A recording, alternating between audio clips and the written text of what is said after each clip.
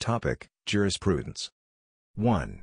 Who among the following had explained the distinction between expositorial jurisprudence and censorial jurisprudence? A. Kelsen B., Bentham C., Kelsen D., Hart. The answer of first question is, B, that is Bentham. And the explanation is, while defining the principles of morals and legislation, in the end, Bentham described the taxonomy of the branches of jurisprudence, and, his first division was the distinction between expository and censorial jurisprudence. The expository defines what the law is, and the censorial defines what it ought to be. 2. Which of the following statements summarizes the normative legal theory most accurately? A. Its principal concern is with moral or political values. B. It is preoccupied with the analysis of the application of legislation to moral issues. C. It expresses the idea that law consists only of norms and values. D. It is represented by the positivist view of law as developed by Salmond. The answer of second question is, A, that is, its principal concern is with moral or political values. Explanations Normative generally means relating to an evaluative standard. Normativity is the phenomenon in human societies of designating some actions or outcomes as good or desirable or permissible, and, others as bad or undesirable or impermissible. A norm in this normative sense means, a standard for evaluating or making judgments about behavior or outcomes. Likewise, the normative theory of law came into existence in early 20th century. Its purpose is to purify the traditional science of law by removing from it the many foreign elements which have found their way into it, and thus to establish a pure method of legal cognition. Its chief feature, therefore, is methodological and critical. 3. Which one of the following statements best describes Lon Fuller's objective in his hypothetical case of the Speluncean explorers? A. To consider the extent to which murder requires actus rea. B. To examine the significant questions of legal and political philosophy. C to criticize the role of the judiciary in cases involving a conflict between law and morality. d. To illustrate the differences between the criminal law and the civil law. The answer of third question is, b. That is, to examine the significant questions of legal and political philosophy. Explanations The Case of the Speluncean Explorers is an article by the philosopher Lon L. Fuller. The article was first published in the Harvard Law Review in 1949. It primarily discusses the form of a fictional judgment, it presents a legal philosophy puzzle to the reader and five possible solutions in the form of judicial opinions that are attributed to judges sitting on the fictional Supreme Court of Newgarth in the year 4300. 4. Who among the following defines jurisprudence as the lawyer's extraversion? It is the lawyer's examination of the precepts, ideals and techniques of the law in the light derived from present knowledge in the discipline other than law. A. Almond. B. Roscoe Pound. C. Julius Stone. D. Kelsen. The answer of fourth question is, C, that is Julius Stone. Explanations Stone firmly believed that jurisprudence is lawyer's extraversion as it is the lawyer's examination of precepts and techniques of the law in the light derived from present knowledge in disciplines other than law. It means, a lawyer should not be a mere legal technician and knowing only the legal texts and procedures but, he should be a social activist capable enough to understand the societal change with the time.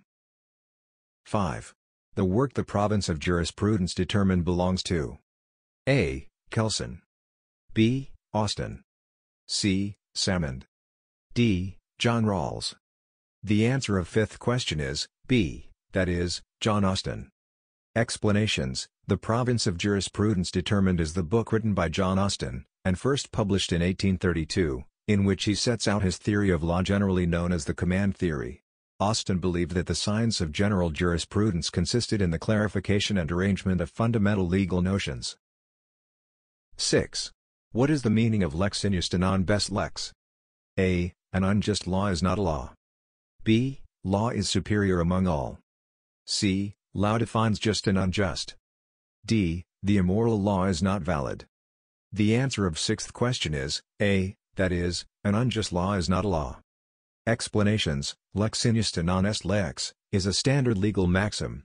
Originating with St. Augustine, the motto was used by St. Thomas Aquinas and quoted by Martin Luther King Jr. during the Civil Rights Movement to describe racial segregation and discrimination against African Americans. 7. Cicero's conception of natural law is based on the idea that true law is right reason in agreement with nature. According to him reason is a key element because a. It is a sin for humans not to apply reason. b. The law of nature is the basis of all positive law. c. The principles of natural law are discoverable by reason. d. Natural law does not apply without good reason. The answer of seventh question is, c, that is, the principles of natural law are discoverable by reason.